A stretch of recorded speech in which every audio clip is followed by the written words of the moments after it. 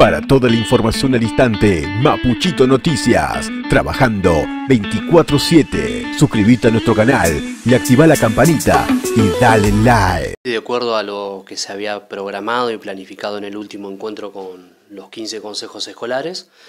en la oportunidad habíamos tenido la visita de, de nuestro gobernador, allí habíamos planificado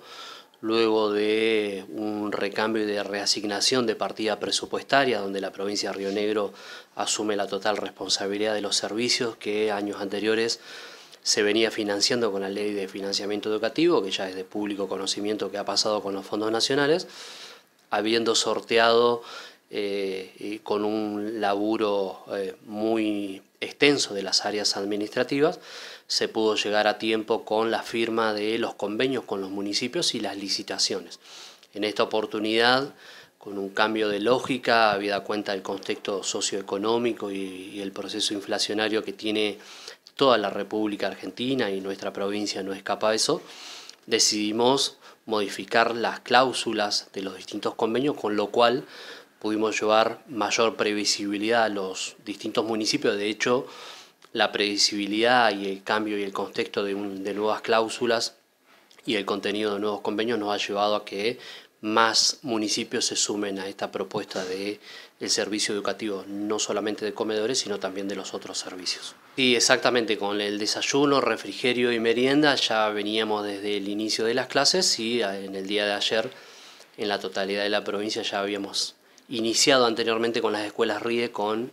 el servicio de, de, perdón, de, almuerzo y cena, sobre todo en las escuelas rurales, hogares y residencias, y ayer en la totalidad de las escuelas,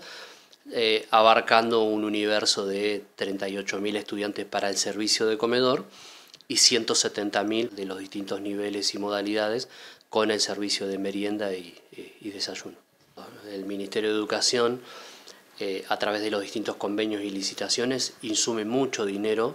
en, la compra de los distintos eh, insumos y elementos y este año hemos incorporado sobre todo haciendo hincapié a fortalecer las economías regionales para que todos los pequeños productores de la línea sur y del resto de productores de la provincia puedan vender sus propias producciones. Eh, digamos,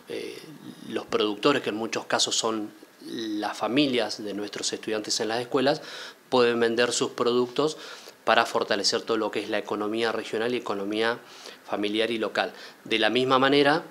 consumen nuestros chicos en las escuelas todos los productos de los valles, o sea, productos que producen nuestros propios productores horticultores y, eh, eh, fruticultores. Eh, ahora lo tenemos directamente en nuestros comedores escolares, de manera de poder tener una política integral asociada a los comedores, comida fresca de calidad y productos rionegrinos.